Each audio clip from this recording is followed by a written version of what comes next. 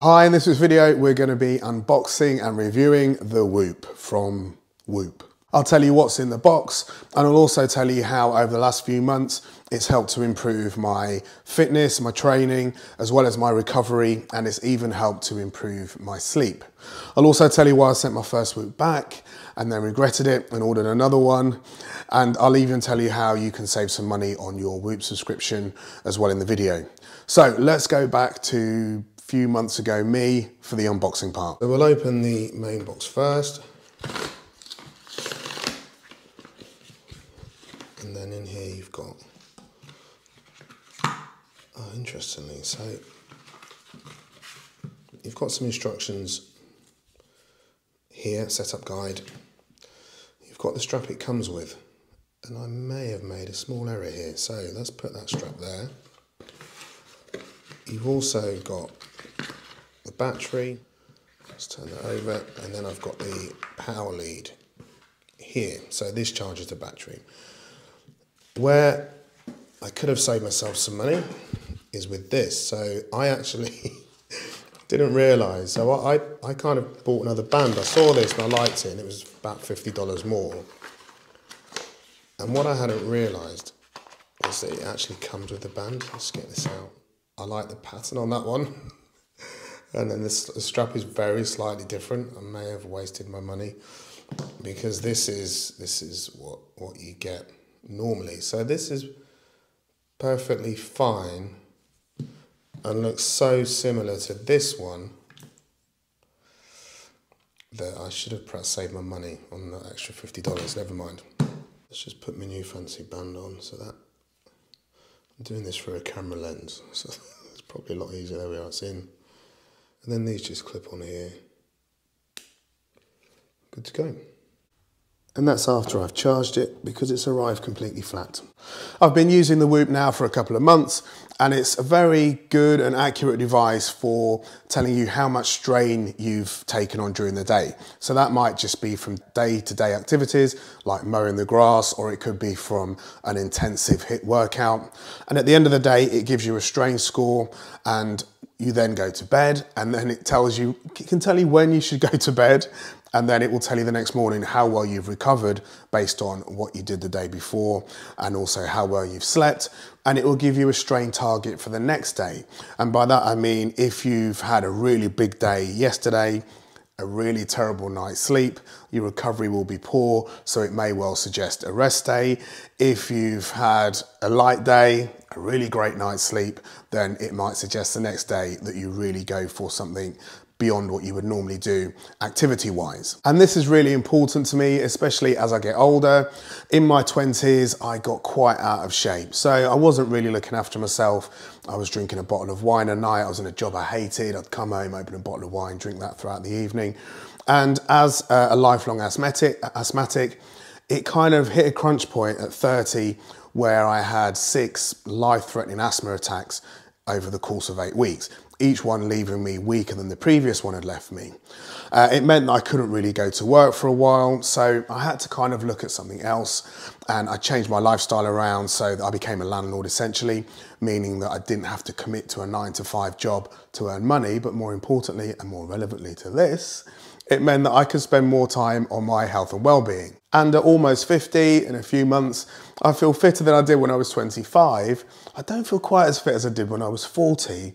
And what I hadn't realized is over the course of the last few years, I've actually been overtraining and fatiguing myself, something that I didn't didn't anticipate would happen, but I think as we naturally get older, we perhaps haven't got as much in the tank as we thought we did, and that's that's as a result I was getting I'm getting more tired than I used to get. So with this little fella, it means I can perfectly balance my daily strain compared to my recovery and how well I've slept. Let's look at the data. So I'm going to start with today, and this is my homepage. So on here you can see I've had a 77% recovery from last night. And I've already worked out this morning, I've had a 15.1 strain day. And if we look down here, you, you can see that's made up of 11.9 from running. I did some weight training. I also did some yoga and I've also got a sleep score down there, which I'll go into in a moment. So where it says optimizing performance, it says you've passed your optimal strain. So this is giving an indication now that I should not do much more for the day, I should rest. So yesterday I had a strain day of 14.7. And if we look here, it says between 14 and 17.9 is considered strenuous. My average heart rate I can see there, as well as how many calories I burned, along with my previous strain, strains for different days. And if we change it to six months, you can see that my strain has very gradually increased over the last few months. And if we take a look at recovery, you can see from the day before I was 92% recovered and you get some really good data here. Now this is your kind of readiness, readiness score, your HRV. And if you look, you can see yesterday I hit 40, which was my best ever. And if we compare over the last six months, you can see that it's gone from 27 to 28, now up to an average of 32. So my readiness score keeps improving since I've been using the Whoop.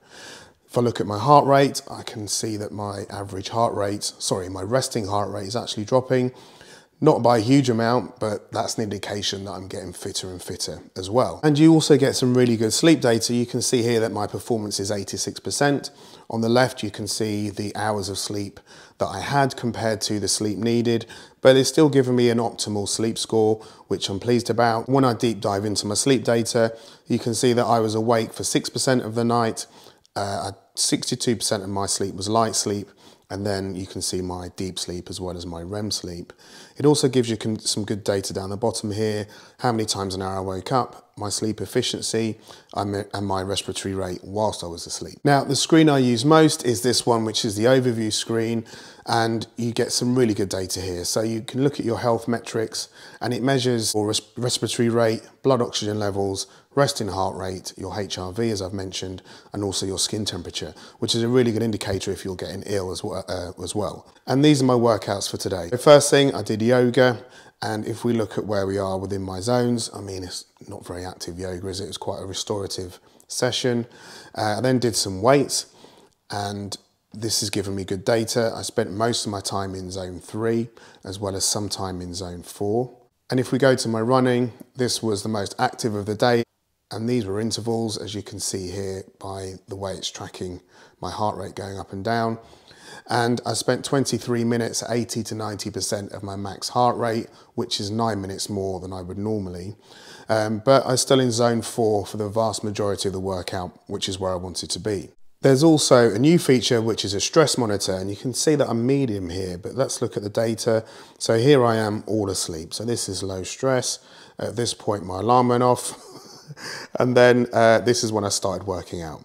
So as I've worked out, there's been peaks and troughs here to my stress levels, but most importantly, although it says I'm medium stressed, I can look down and see that my elevate, my stress is actually elevated from the exercise I've done and not through being stressed. And you can also see, so, so far based what I've done today, uh, the coaching part of the app tells me that I really should be going to bed at 21.50 to get 8 hours 10 minutes in bed if I want to get up at 6am tomorrow which is my normal wake up time. And I'm back again. I appreciate that there's a lot of data there and it was a little bit overwhelming for me at first and I kept looking at the app when I first bought the Whoop and then I decided that it wasn't for me and I sent it back thinking to myself do I really need all this data? I mean I'm fairly fit and healthy anyway is it for me? So I sent it back and then I immediately missed it. So I ordered another one.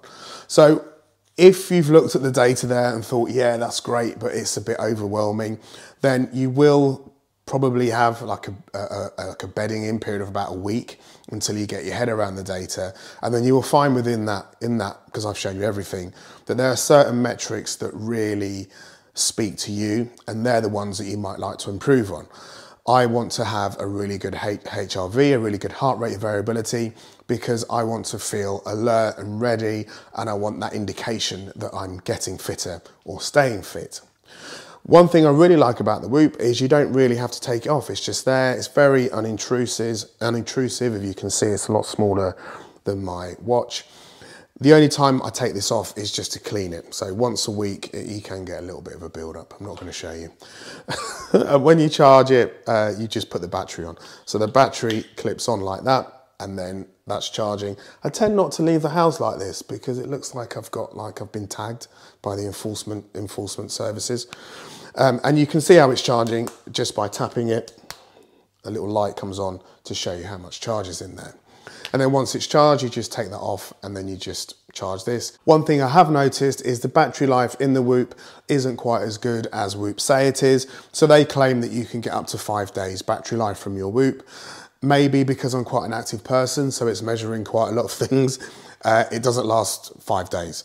I find I need to charge this every three days but I just have um, a reminder on my email, just Monday, Wednesday, Friday, just put this on for um, half an hour or so. When it comes to pricing, I think it's a really well priced product for the data it gives you.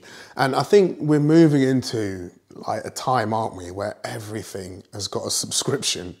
I've got an eight sleep mattress, which is a complete game changer if you want a good night's sleep. But who would have thought that I would be buying a mattress topper um, with a subscription. Yeah, it's crazy, isn't it? But at the same time, we'll spend three, five hundred dollars on tires for a car, but we'll be more reluctant to spend that on a device that keeps us fit and healthy, which is more important. So I think with fitness trackers, the vast majority of them these days have a subscription and Whoop is no different. So you get the Whoop for free. You don't have to pay for this. And every time they bring out a new Whoop, this is a Whoop 4.0. If a Whoop 5.0 comes out, that will just be sent for you uh, and you pay for the subscription. So this is kind of like the opposite of say something like an Apple Watch where you buy an Apple Watch for several hundred, several hundred pounds, but there's no subscription this is free and you pay a subscription. I put the prices on the screen for the UK. I'm in the UK and then I'll also show the US prices here as well. Um, I would say, because I'd sent mine back and I knew that I wanted it and it was kind of in my life, I just went for the two year subscription. Uh, just because it was the best value. Whether you go for a monthly subscription or a yearly subscription, and that would be kind of my advice if you're just starting out, is either go to pay, pay monthly or pay yearly. And you've got a 30 days return window as well. So if you buy this, you find out it's not for you, you can just send it back for a refund. I'll put a link in the description and that will take you to Whoop's website and that will also give you a free months membership. So that will help bring the cost down slightly and it also helps support the channel, which is greatly appreciated. One thing I have been impressed with from Whoop is their customer service. So I've had a couple of problems which they've resolved for me.